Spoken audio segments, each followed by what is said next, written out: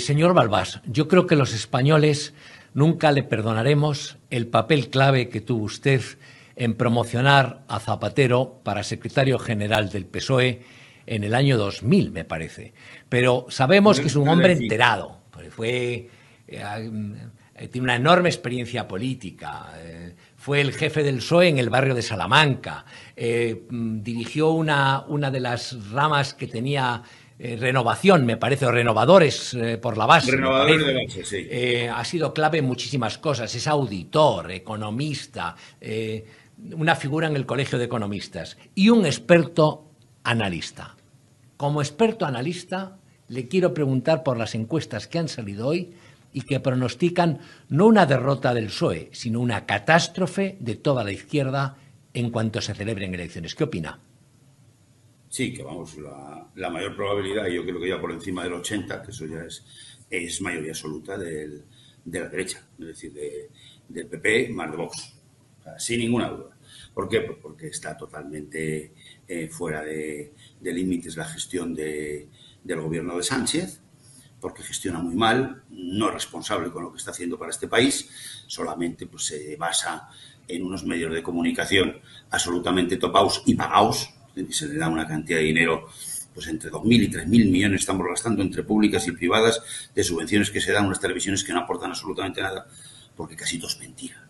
Y eso los españoles lo hemos visto, los jóvenes de menos de 40 y medianos ni ven ya esas televisiones, saben que no tienen ningún crédito y las declaraciones de él, pues no hace falta más que ver las del País Vasco que, que ha hecho con la eh, este fin de semana haciendo el ridículo absoluto y mintiendo permanentemente con lo de Bildu. O sea, es que las mentiras no se tragan y además las mentiras que nos están costando una cantidad de dinero tremendo, es decir, el daño que está haciendo este gobierno, sobre todo economía y hacienda, a las pymes y al empleo español, que es el 85% de, del empleo, ¿eh? del empleo, son las pymes, es tan tremendo que se habla pues, de más de 60.000 millones al año de, daño que hace, de, subvenciones que no vienen de la Unión Europea, de, las 140.000, 70.000, son 70.000 millones de euros concedidos a España, son para la economía real. Y no ha aparecido nada más que la Guardia Civil en, casa de, del marido de la vicepresidenta por unos papeles allí, porque parece que han adjudicado 1.900, no sé qué. Todo lo demás está sin adjudicar. Y sabemos que el dinero no adjudicado, en vez de ir a la pyme española, que que con dos millones de euros, un millón quinientos mil y trescientos mil, va que chuta para que funcione la economía y no seamos el último en empleo de Europa, aparte de los cuentos y de cambiar al de estadística y de, y de lo de Intel y lo de lo que tú quieras, lo que tú... Lo, pero, pero Balbás...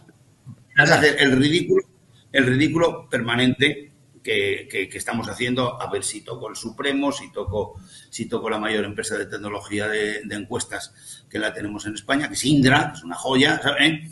Y, a ver si manipulo el Consejo del Poder Judicial. Eso ya no vale, porque no tiene crédito. Y Pero, Balbas, ¿qué es lo que penaliza el electorado español? Tú como analista, como experto, como, como economista, ¿qué es lo que está penalizando a Sánchez y a este gobierno. Lo más la ineptitud en la gestión, el sectarismo, el acuerdo con Bildu, eh, las contradicciones en Hermoa, ¿qué es lo que penaliza? Bueno, eh, lo fundamental eh, es la economía, como siempre. O sea, la gente vota con la cartera al 85%. La política también y la falta de dignidad que está teniendo ya España internacional, que tenemos un gobierno que no sé si cinco son prorrusos, tres pro-franceses, dos marroquíes, no defienden nuestros intereses, defienden los intereses de terceros y no es ninguna broma. ¿eh? De grandes empresas, del gas, de la electricidad, de la banca, y la gente es la que paga. De los 27 de la Unión Europea, seguimos estando el último. O sea, el 27, detrás de Grecia en la recuperación de PIB. Y estos hablando de que vamos, vamos, vamos, no tenemos ni presupuesto. El presupuesto iba con un seis y pico por ciento de PIB de crecimiento.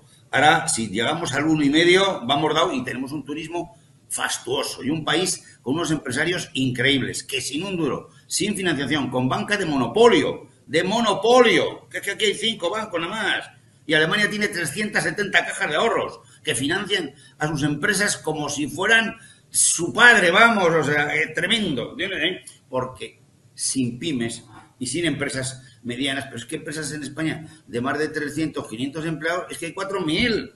Hay 4.000 y las otras son 3.600.000 y son el 90 del empleo. Las están machacando. Tanto la agencia tributaria como economía, que no les da ninguna subvención, excepto eso de la Guardia Civil que ha dado una vuelta por allá a ver si hay algo. Pero los 70.000 millones no, no, que son para el operativo no son las subvenciones al Estado, porque los otros 68.000 son directos al Estado para que subvencione, que están subvencionando a quien les da la gana, a sus amiguetes, tal, vamos, a Madrid al que menos, por supuesto, como siempre, que es el que más paga de todos, con una diferencia de cinco veces al siguiente. O sea, eso es sectario, eso sí es sectario, pero sobre todo es una mala gestión económica, porque no es eficiente, eh, Alfonso. Ya, pero mm, el gobierno eh, sostiene que tenemos un verano espléndido en turismo, que las cifras de paro son muy positivas. De hecho, hace dos semanas sacaban pecho con respecto a las, al empleo, al número de, contratos permanentes, todo este tipo de cosas. Es decir, ¿qué es lo que mienten, manipulan la información, no se enteran? Bueno, enterarse se enteran y tiene intereses distintos a los del propio país. O sea, ya te he dicho que es que la mitad del gobierno yo no sé con quién está. O sea, el, daño que hemos hecho con la operación eh, Argelia Marroquí, yo le calculo entre 7 y 10 mil millones de euros por la pérdida del HAT que, teníamos ya hecho, invertido miles de millones, pero miles de millones en tubos debajo del Mediterráneo, en, las cinco grandes eh, receptoras de gas, de gas licuado, ¿eh?